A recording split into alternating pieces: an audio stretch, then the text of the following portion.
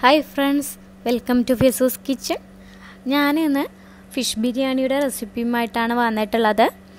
അയക്കോറ കൊണ്ടുള്ള ബിരിയാണിയാണ് പെരുന്നാളൊക്കെയാണല്ലോ.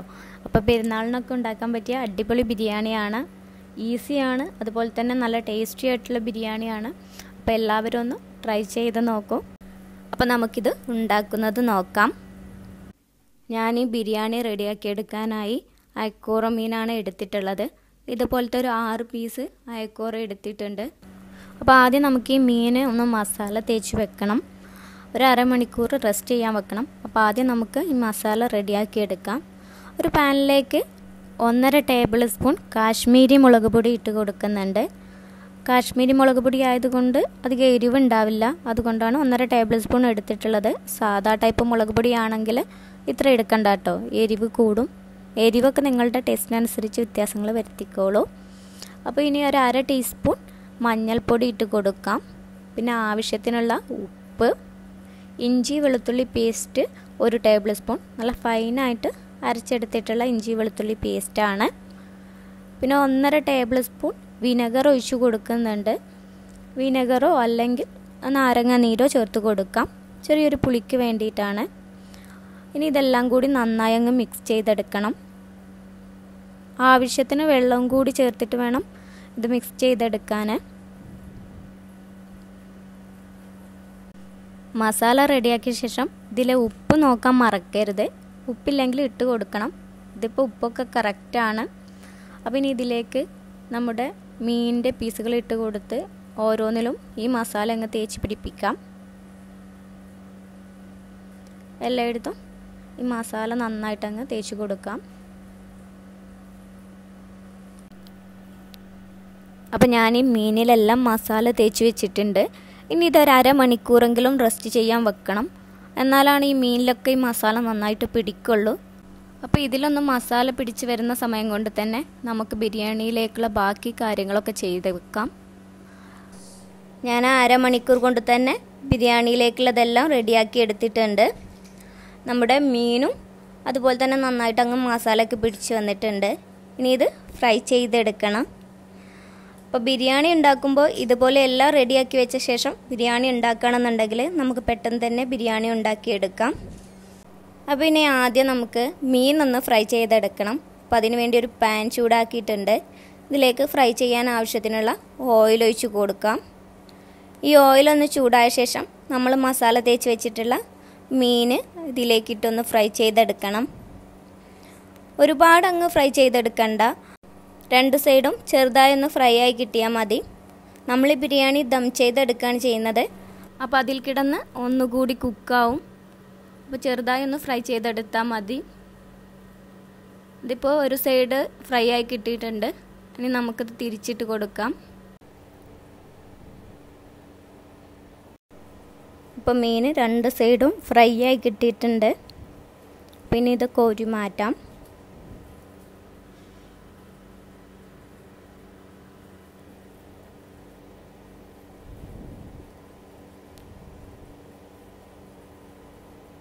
ഇതുപോലെ തന്നെ ബാക്കിയുള്ള ഫിഷ് കൂടി നമുക്ക് ഫ്രൈ ചെയ്യാം.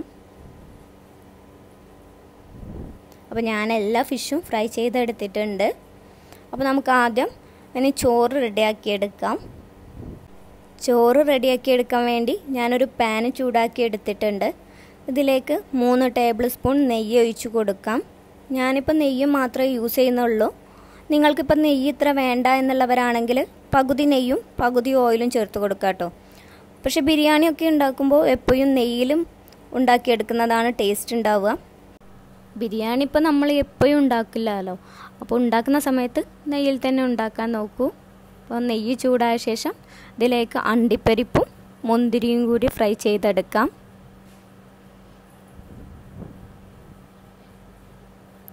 അണ്ടിപ്പരിപ്പൊന്ന് ചെറുതായിട്ട് ഗോൾഡൻ കളറായിട്ട് വറുത്ത് കോരാം.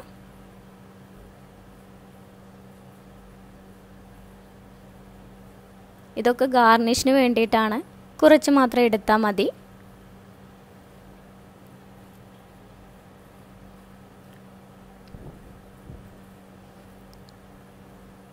മുന്തിരിയും വറുത്ത് കോരാം.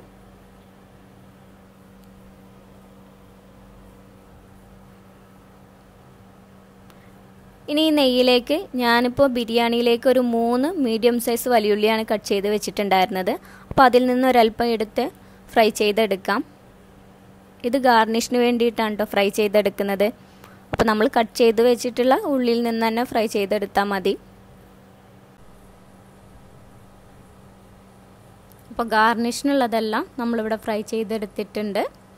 അപ്പോൾ ഇനി നമുക്ക് ഈ നെയ്യിൽ ചോറ് റെഡിയാക്കി എടുക്കാം. അപ്പോൾ ആദ്യം നമുക്ക് സ്പൈസസ് ഇട്ട് കൊടുക്കാം. ഒരു ബേ ലീവ്സ് ചെറിയ നാല് പീസ് പട്ട എടുത്തിട്ടുണ്ട്. വലിയ ടൈപ്പ് ആണെങ്കിൽ രണ്ട് പീസ് എടുത്താൽ മതി.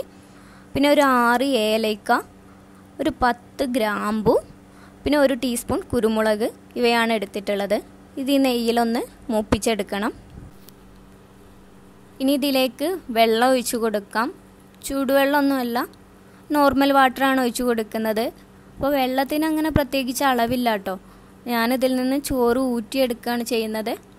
അപ്പോൾ ഒരു മൂന്ന് ഗ്ലാസ് അരിയിലേക്കുള്ള വെള്ളം ഒഴിച്ചു കൊടുക്കാം. ഊറ്റിയെടുക്കാൻ ആവശ്യത്തിനുള്ള വെള്ളം ഒഴിച്ചു കൊടുക്കാം. ഇനി ഒരു ചെറിയ പീസ് ക്യാരറ്റ് ഞാൻ ഇതുപോലെ കട്ട് ചെയ്തെടുത്തിട്ടുണ്ട്. ഇതിട്ട് കൊടുക്കാം. അതിനുശേഷം ഇത് അടച്ചു വെച്ച് നന്നായിട്ട് ഈ വെള്ളം ഒന്ന് തിളച്ച് വരട്ടെ. അപ്പോൾ നമ്മുടെ വെള്ളമൊക്കെ ഇപ്പോൾ നന്നായിട്ട് വെട്ടി തിളച്ച് വന്നിട്ടുണ്ട്. അപ്പോൾ ഇനി ഇതിലേക്ക് ആവശ്യത്തിനുള്ള ഉപ്പിട്ട് കൊടുക്കാം. ഉപ്പിട്ട് കൊടുക്കുമ്പോൾ ഈ വെള്ളത്തിൽ ഒരല്പം ഉപ്പ് മുന്നോട്ട് നിൽക്കണം.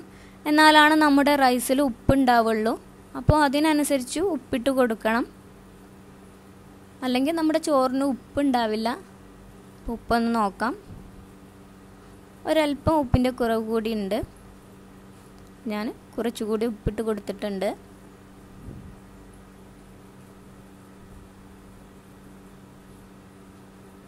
ഇപ്പോൾ ഉപ്പൊക്കെ കറക്റ്റാണ് അപ്പോൾ ഇനി ഇതിലേക്ക് ഞാനൊരു മൂന്ന് കപ്പ് ബസുമതി റൈസ് നന്നായി കഴുകിയ ശേഷം ഒരു അരമണിക്കൂർ കുതിർത്ത് വെച്ചിട്ടുണ്ടായിരുന്നു. ഇപ്പോൾ വെള്ളമൊക്കെ ഊറ്റിയെടുത്തിട്ടുള്ളതാണ്. ഇതിട്ട് കൊടുക്കാം. ഞാനിപ്പോൾ സെല്ല ബസുമതി റൈസാണ് യൂസ് ചെയ്തിട്ടുള്ളത്. ഏത് ബിരിയാണി റൈസ് വേണമെങ്കിലും എടുക്കാം കേട്ടോ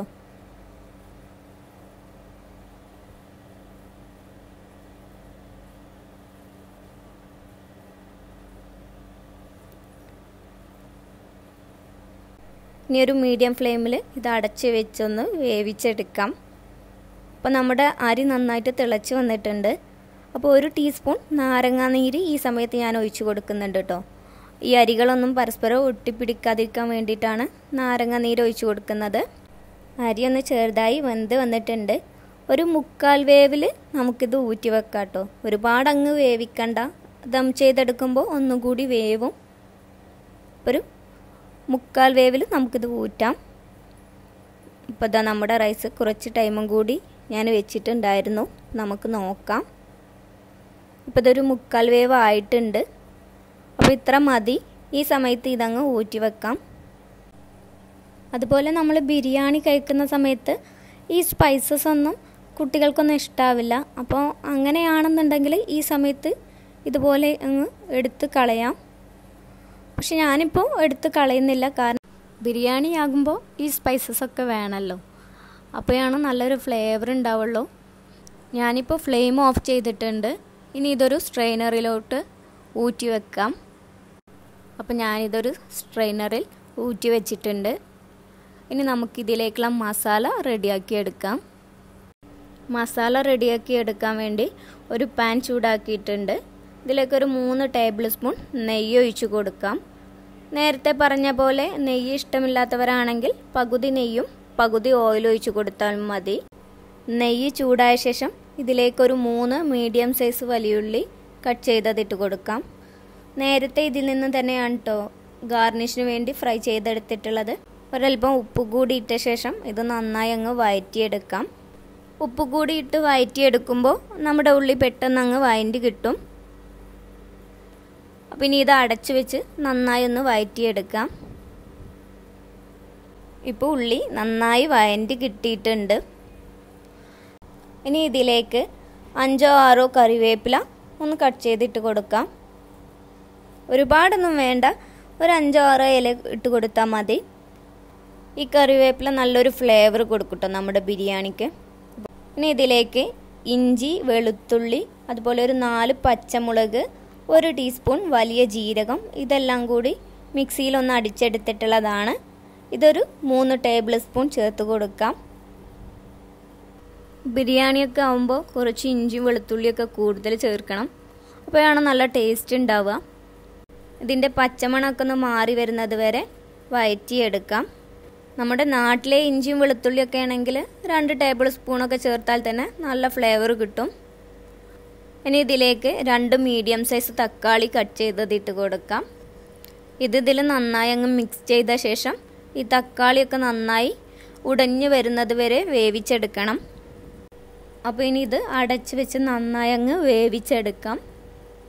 അപ്പോൾ നമ്മുടെ തക്കാളിയൊക്കെ നന്നായിട്ട് വെന്ത് ഉടഞ്ഞു വന്നിട്ടുണ്ട്. അപ്പോൾ ഇടയ്ക്കൊക്കെ ഒന്ന് ശ്രദ്ധിക്കാൻ മറക്കരുത് കേട്ടോ അടിയിലൊന്നും പിടിക്കരുത്. ഇനി ഇതിലേക്ക് പൊടികൾ ചേർക്കാം. അര ടീസ്പൂൺ മഞ്ഞൾപ്പൊടി കാൽ ടീസ്പൂൺ മുളക് പൊടി അര ടീസ്പൂൺ മല്ലിപ്പൊടി മുക്കാൽ ടീസ്പൂൺ ഗരം മസാല. ഇതെല്ലാം ചേർത്ത് ഈ പൊടികളുടെ പച്ചമണമൊക്കെ മാറി വരുന്നത് വരെ ഇതങ്ങ് വഴറ്റിയെടുക്കാം ഈ പൊടികളുടെ പച്ചമണമൊക്കെ നന്നായി അങ്ങ് മാറി വരണം. പൊടികളുടെ പച്ചമണമൊക്കെ മാറിയ ശേഷം ഒരു മൂന്ന് ടേബിൾ സ്പൂൺ തൈര് ചേർത്ത് കൊടുക്കാം. ഒട്ടും പുളിയില്ലാത്ത നല്ല കട്ട തൈരാണ്. അപ്പോൾ ഇനി ഇത് ഇതിൽ നന്നായിട്ട് മിക്സ് ചെയ്തെടുക്കാം. ഒട്ടും കട്ടയില്ലാതെ നന്നായിട്ട് അങ്ങ് മിക്സ് ചെയ്തെടുക്കണം.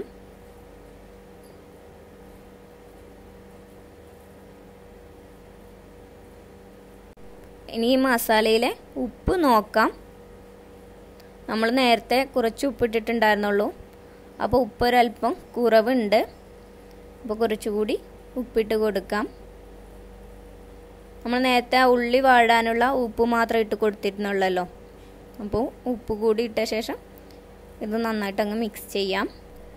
ഇനി ഞാനിതിലേക്ക് ഒരു ഒന്നര തവി നല്ല ചൂട് വെള്ളം ഒഴിച്ചു കൊടുക്കുന്നുണ്ട്. നല്ല ചൂടുവെള്ളം തന്നെ ഒഴിക്കാൻ ശ്രദ്ധിക്കുക. തണുത്ത വെള്ളം ഒഴിക്കരുത്. മസാല നല്ല ഡ്രൈ ആയിരുന്നാൽ നമ്മൾ ഇനി ഇതിലേക്ക് മീൻ ചേർക്കുമ്പോൾ ആ മീനിലേക്കൊന്നും ഈ മസാല പിടിക്കില്ല. അതാണ് വെള്ളം ഒഴിച്ചു കൊടുത്തത്. ഇനി ഒരല്പം പൊതിനയിലയും മല്ലിയിലയും കട്ട് ചെയ്തതിട്ട് കൊടുക്കാം.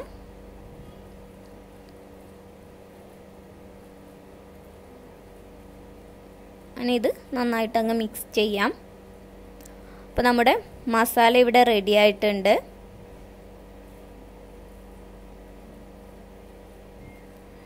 അപ്പോൾ ഇനി ഇതിലേക്ക് നമ്മൾ ഫ്രൈ ചെയ്ത് ചെയ്ത് വെച്ചിട്ടുള്ള മീൻ ഇട്ട് കൊടുക്കാം.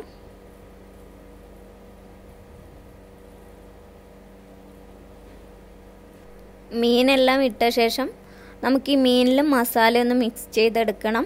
പക്ഷെ മീനൊന്നും ഉടയാതെ ഇതുപോലെ ഒന്ന് തിരിച്ചിട്ട് കൊടുത്താൽ മതി. മീൻ ഉടയാതിരിക്കാൻ ശ്രദ്ധിക്കണം കേട്ടോ. ആകെ ഒന്ന് കുത്തി ഇളക്കരുത്. ചെറുതായിട്ടങ്ങ് ഇതുപോലെ മറിച്ചിട്ട് കൊടുത്താൽ മതി. ഇനി ഇത് അടച്ച് വെച്ചൊരു അഞ്ച് മിനിറ്റ് വേവിക്കാം. അപ്പോൾ ഒരു അഞ്ച് മിനിറ്റ് ആയിട്ടുണ്ട്. ആ മസാലയൊക്കെ മീനിലേക്ക് നന്നായിട്ട് പിടിച്ചിട്ടുണ്ട്. അപ്പോൾ ഇനി ബിരിയാണി ദം ചെയ്തെടുക്കാം. ചെറിയ തീയിലിട്ടിട്ട് വേണം കേട്ടോ ദം ചെയ്തെടുക്കാൻ അപ്പോൾ നമ്മൾ റെഡിയാക്കി വെച്ചിട്ടുണ്ടായിരുന്ന ചോറ് ഇതിന് മുകളിലായിട്ട് ഇട്ട് കൊടുക്കാം. ദം ചെയ്തെടുക്കുമ്പോൾ അടിയിൽ പിടിക്കും എന്നൊക്കെ പേടിയുള്ളവരാണെങ്കിൽ ഫ്ലെയിം ഓഫ് ചെയ്തിട്ട് ദം ചെയ്തെടുത്താലും മതി കേട്ടോ അപ്പം ഇനി ഇത് ചോറ് പകുതി ഇതിന് മുകളിലേക്ക് ഇട്ട് കൊടുക്കാം. രണ്ട് ലെയറായിട്ടാണ് ചെയ്യുന്നത്. അപ്പോൾ പകുതി ആദ്യം ഇതിന് മുകളിലേക്ക് ഇട്ട് കൊടുക്കാം. പകുതി ചോറിട്ട ശേഷം ഇതൊന്ന് ലെവൽ ചെയ്തെടുക്കണം.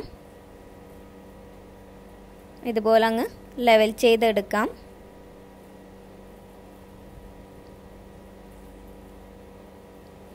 ഇനി ഇതിന് മുകളിലായി ഒരൽപ്പം ഗരം മസാല ഇട്ട് കൊടുക്കാം. ഒരു ടേബിൾ സ്പൂൺ നെയ്യ് ഒഴിച്ചു കൊടുക്കാം.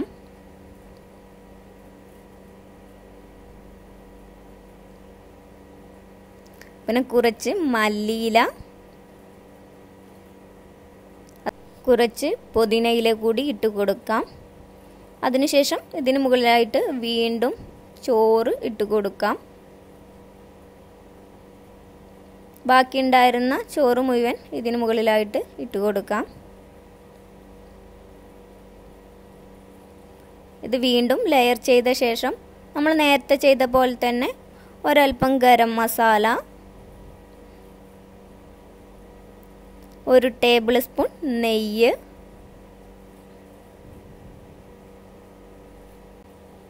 കുറച്ച് മല്ലിയില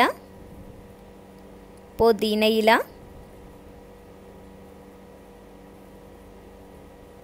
പിന്നെ ബിരിയാണിക്ക് നല്ല മഞ്ഞ കളർ വേണമെന്നുണ്ടെങ്കിൽ കുറച്ച് പാലിലൊരൽപ്പം മഞ്ഞൾപ്പൊടി ഇട്ടിട്ട് ഇതുപോലെ അങ്ങ് ഒഴിച്ചു കൊടുക്കാം. നിർബന്ധമൊന്നുമില്ല. അല്ലെങ്കിലും മഞ്ഞ കളർ ഉണ്ടാവും നമ്മുടെ മസാലയുടെ ഇതിന് മുകളിലായിട്ട് നമ്മൾ ഗാർണിഷ് ചെയ്യാൻ വെച്ചിരുന്ന ഉള്ളി ഫ്രൈ ചെയ്തത് അതുപോലെ അണ്ടിപ്പരിപ്പ് ഉണക്കമുന്തിരി ഇതെല്ലാം ഇട്ട് കൊടുക്കാം. ഒരല്പം ഇട്ട് കൊടുത്താൽ മതി. ബാക്കി നമുക്ക് ഗാർണിഷിന് ഉപയോഗിക്കാം.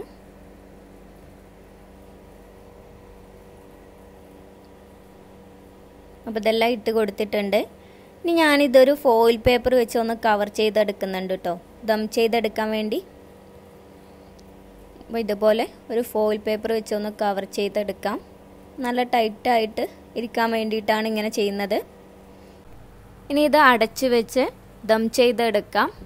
അപ്പം ഞാനിത് ദം ചെയ്തെടുക്കാൻ വേണ്ടി ഇതുപോലത്തെ തന്നെ ഒരു പാത്രത്തിൽ നല്ല തിളച്ച വെള്ളം എടുത്തിട്ടുണ്ട്. ഇത് ഇതിന് മുകളിൽ കയറ്റി വെച്ചിട്ടാണ് ദം ചെയ്തെടുക്കുന്നത്. അപ്പം ഇതുപോലെയാണ് ഞാൻ ബിരിയാണിയൊക്കെ ദം ചെയ്തെടുക്കാറ്. അപ്പോൾ നമ്മളിപ്പോൾ ചെറിയ തീയിലിട്ടിട്ടുണ്ടല്ലോ അതൊരു രണ്ട് മൂന്ന് മിനിറ്റ് കൂടി വെച്ച ശേഷം ഫ്ലെയിം ഓഫ് ചെയ്യാം. അതിനുശേഷം ഒരു മണിക്കൂറൊക്കെ കഴിഞ്ഞ ശേഷമാണ് നമ്മൾ ദം പൊട്ടിക്കുന്നത്. അപ്പോൾ ഒരു മണിക്കൂറെങ്കിലും മിനിമം വെക്കണം. എന്നാലാണ് ആ ദം ചെയ്തെടുത്ത ടേസ്റ്റ് കിട്ടുള്ളൂ. അപ്പോൾ ഒരു മൂന്ന് മിനിറ്റ് ആയിട്ടുണ്ട്. അപ്പോൾ ഇനി ഫ്ലെയിം ഓഫ് ചെയ്യാം. ഇതിപ്പോൾ ഇങ്ങനെയാണ് ഞാൻ വെച്ചിട്ടുള്ളത്. ഇതൊരു മണിക്കൂർ ഇങ്ങനെ ഇരിക്കട്ടെ. ഇപ്പോൾ ഒരു മണിക്കൂറൊക്കെ കഴിഞ്ഞിട്ടുണ്ട്. അപ്പോൾ നമ്മുടെ ചോറൊക്കെ റെഡി ആയിട്ടുണ്ട്. അപ്പോൾ നമുക്കൊന്ന് നോക്കാം. തുറക്കുമ്പോഴേ നല്ല ബിരിയാണീന്റെ സ്മെല്ലൊക്കെ ഉണ്ട് കേട്ടോ അപ്പോൾ ഒട്ടും റൈസൊന്നും ഉടഞ്ഞു പോയിട്ടില്ല. നല്ല അടിപൊളിയായി കിട്ടിയിട്ടുണ്ട്. അപ്പം ഞാനിത് വേറൊരു പാത്രത്തിലേക്കിട്ട് മിക്സ് ചെയ്തെടുക്കുകയാണ് ചെയ്യുന്നത്. കണ്ടോ? റൈസൊന്നും ഒട്ടും ഉടഞ്ഞു പോയിട്ടില്ല. അതുപോലെ ഒന്നും ഒട്ടിപ്പിടിക്കാതെ നല്ല അടിപൊളിയായി കിട്ടിയിട്ടുണ്ട്.